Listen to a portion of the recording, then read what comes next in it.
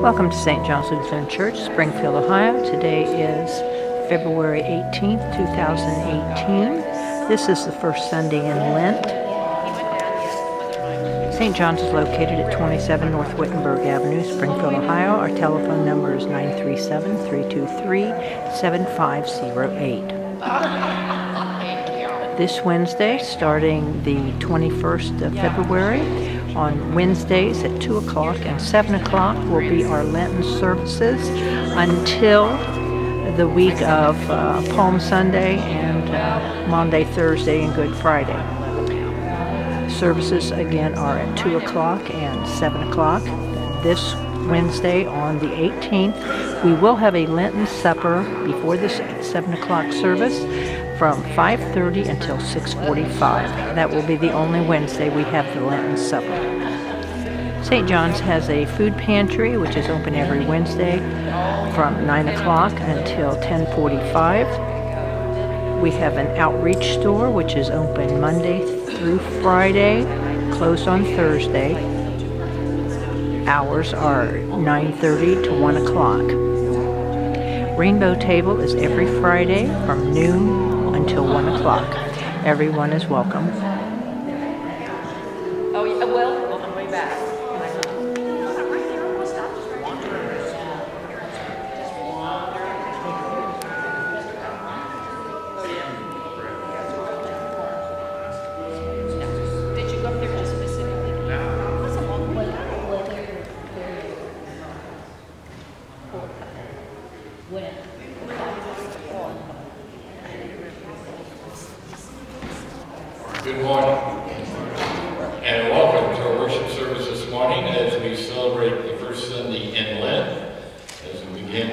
Lenten journey, which of course began Wednesday with the observance of Ash Wednesday. This morning, everything is in your bulletin except for the hymns, so you only need your red hymnal for the singing of the two hymns that we will be singing. Everything else is in your bulletin, so at this time I'd ask that you turn to page two in your bulletin as we prepare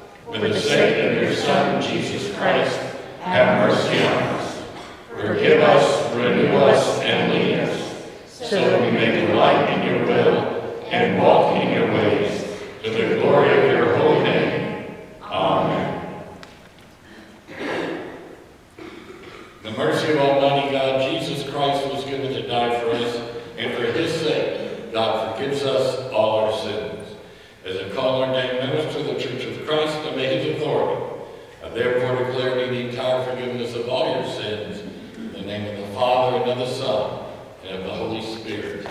Amen. We now begin worship with My Hope is Built on Nothing Less, hymn number 597 in the back of your worship. Hymn number 597.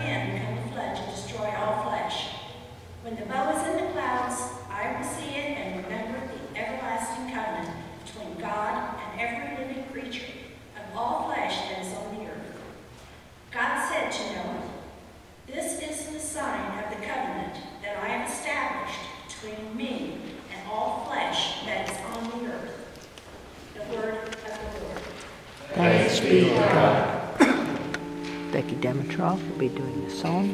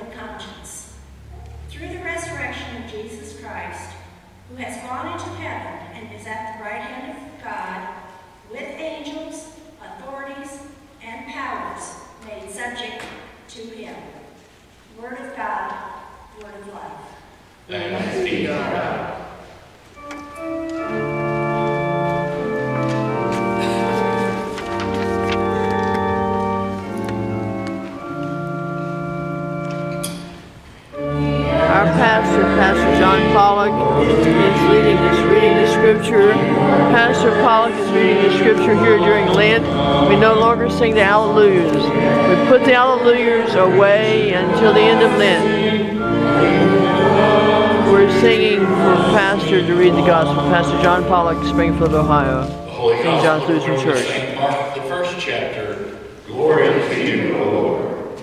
In those days, Jesus came from Nazareth of Galilee and was baptized by John in the Jordan. Just as he was coming up out of the water, he saw the heavens torn apart and the Spirit descending like a dove on him.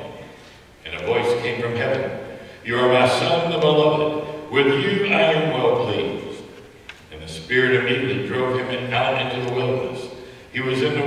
forty days tempted by Satan, and he was with the wild beasts, and the angels waited on him. Now after John was arrested, Jesus came to Galilee, proclaiming the good news of God and saying, The time is fulfilled, and the kingdom of God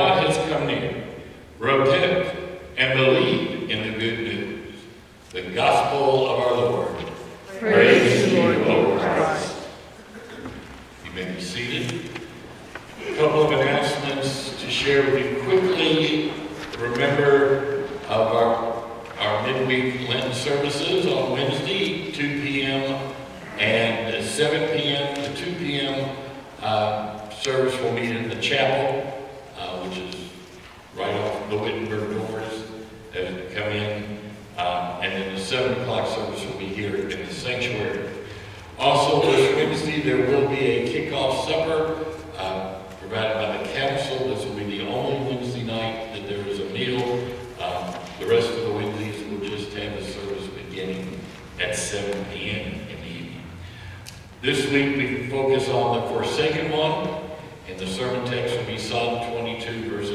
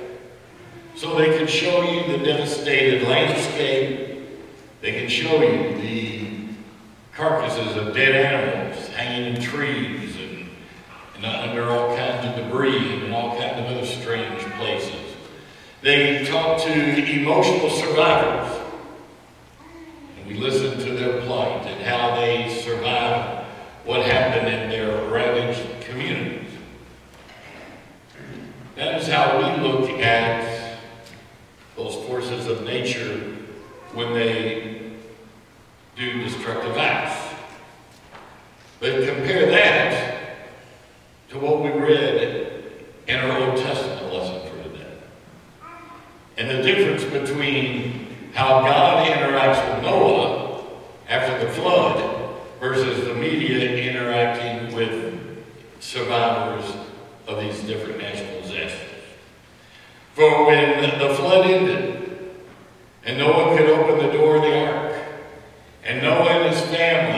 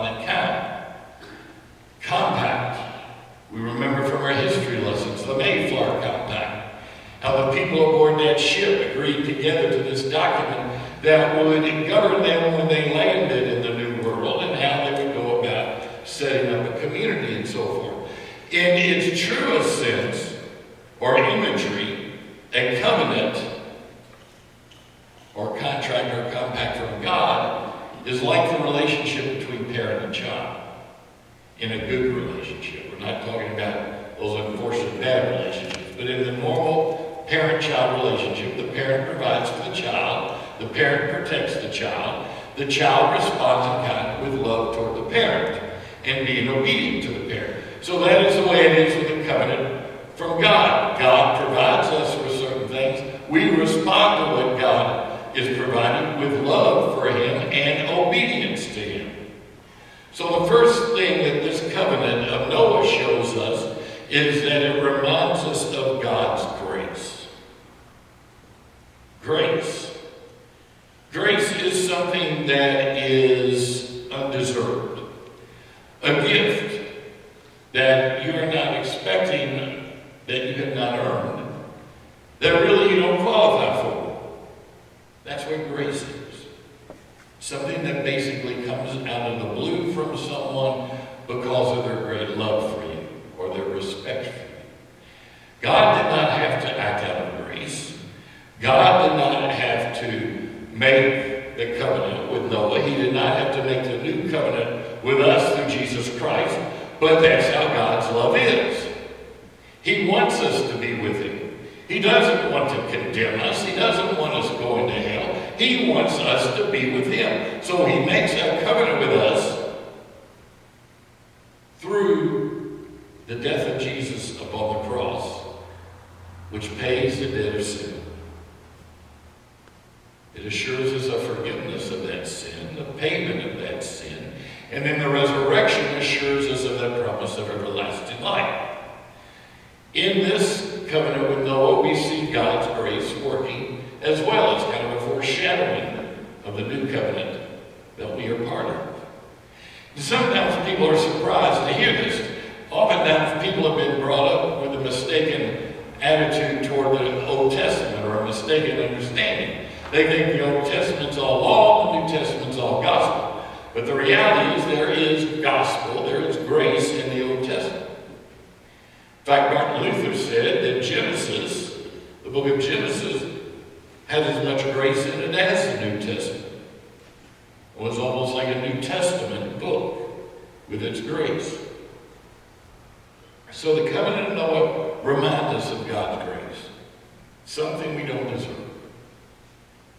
To explain it in modern day terms, some of you may have heard this story before, but one day back in his prime, Dr. Billy Graham was driving through a small southern town and he was speeding. The sheriff of that town pulled him over, gave him a ticket. Dr. Graham asked the sheriff, said, can I just go back in town to City Hall and pay the ticket and that'd be done with? Because some towns, I guess in that time, you could do that. But the sheriff informed him, no, he said, I've put a court date down on your ticket. You must come back and appear before the judge on that court date. I got a speeding ticket one time, only one, never got. And going home to, to Louisville, uh, and on the bottom it said I could go for a court date or I could just mail the ticket in with the money and you'd be done with it. And that's what I did. But Billy, Dr. Graham, he had to go back to this little town in court. So he shows up to court and the judge says guilty or not guilty. Dr. Graham says guilty. The judge says that'll be a $10 fine, a dollar for every mile over the speed limit you were going. And then the judge recognized that it was Dr. Billy Graham. He said, Sir, you violated the law and the fine must be paid. But I'm going to pay the fine for you. With that, the judge reached in his back pocket, pulled out his wallet, pulled out a $10 bill, attached it to the ticket, gave the ticket and the money to the bailiff, you have to pay a fine like that. And then the judge took Billy Graham to the nicest restaurant in town and bought him a steak dinner. That is grace. It's a reality. Dr. Graham should have bought the officer or the judge a steak dinner. But instead, the judge paid his fine and bought him a steak dinner. That's grace. That's what God does for us. That's what God does to us through the covenant with Noah and through the new covenant in our Lord Jesus Christ.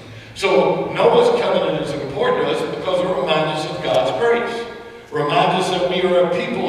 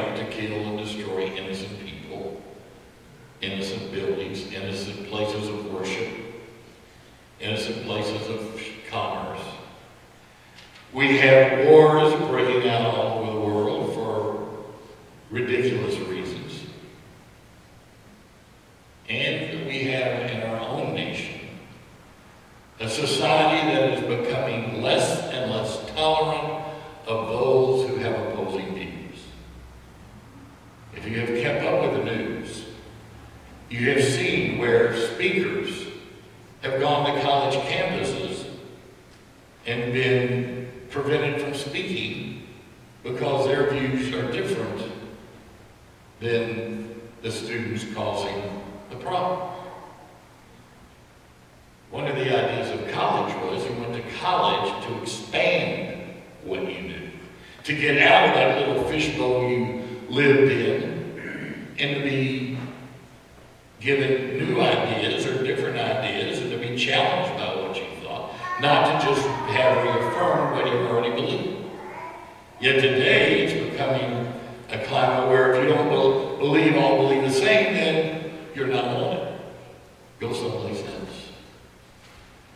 We look at our politicians.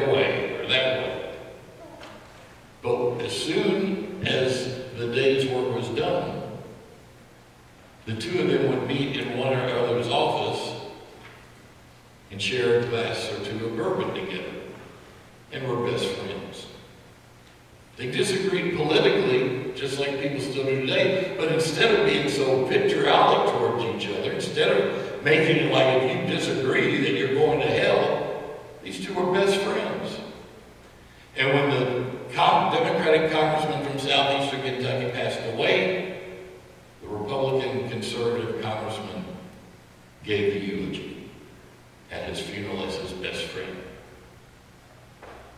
But if we're going to disobey God, if we're going to ignore what God tells us, if we're going to just simply act on what we want, then we risk destroying our world. Never again, says God, will I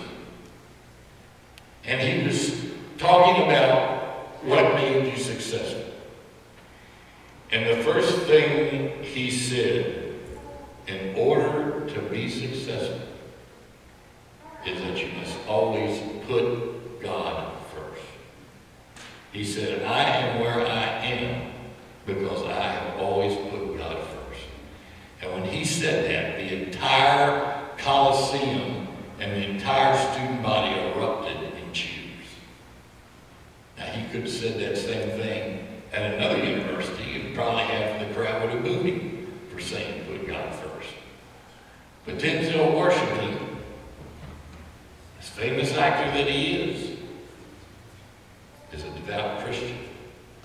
And he's not afraid for anybody to know.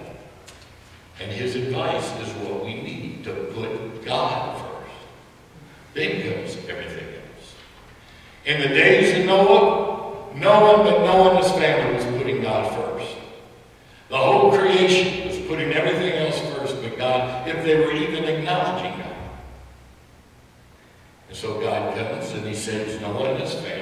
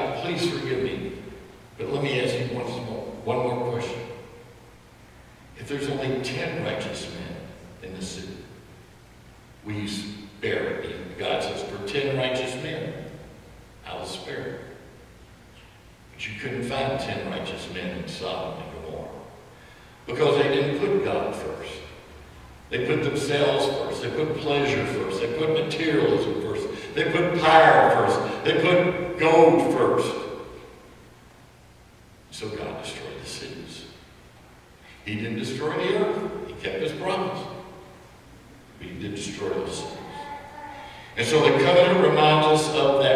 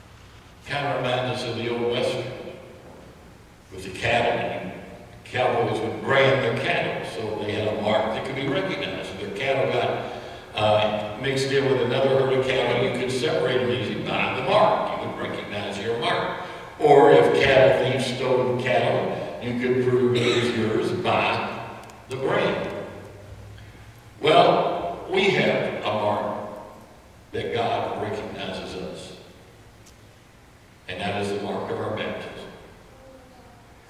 Our baptism is the mark which enables God to recognize us not as a sinner worthy of condemnation, but when he sees our to the side of our baptism, he sees the child of the Heavenly Father. This is why in the liturgy of the sacrament of the baptism we come to that point where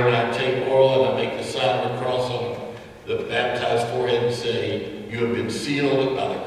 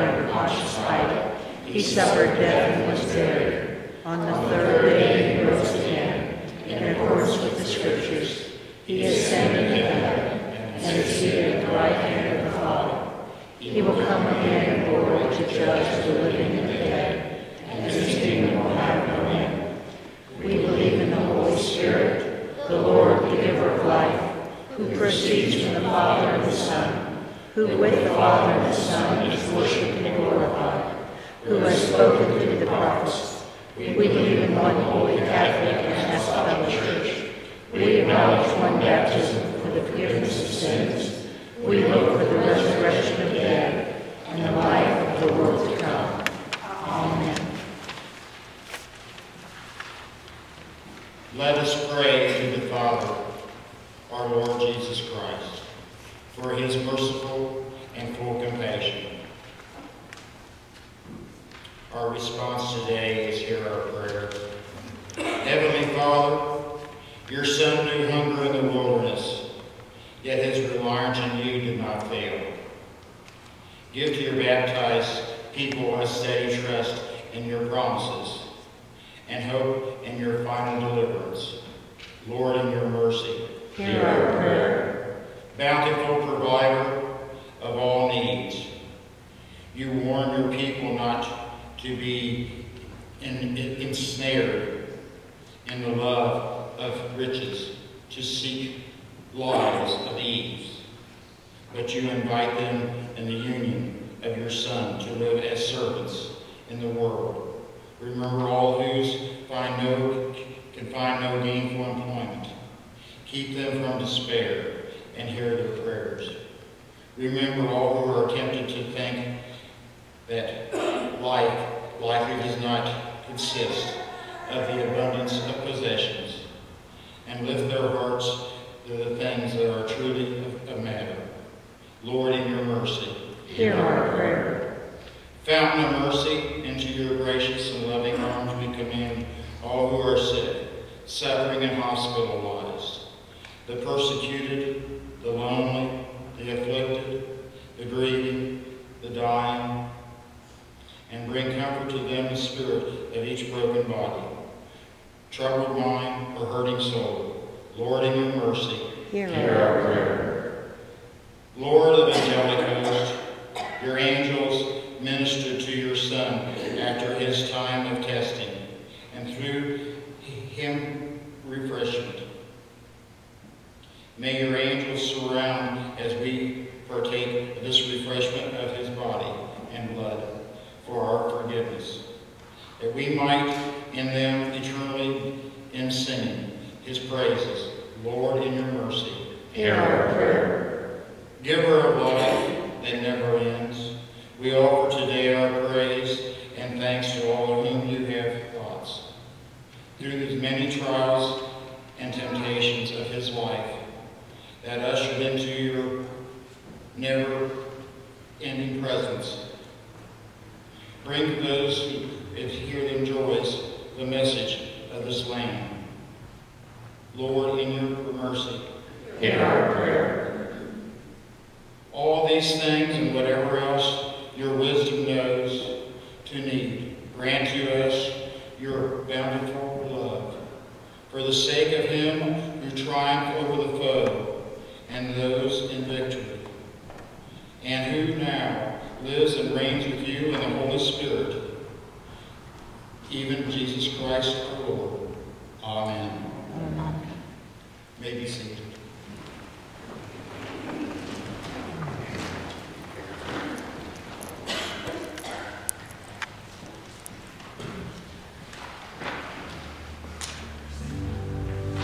It's time for our offering. Linda and Nelson Smith are our ushers today.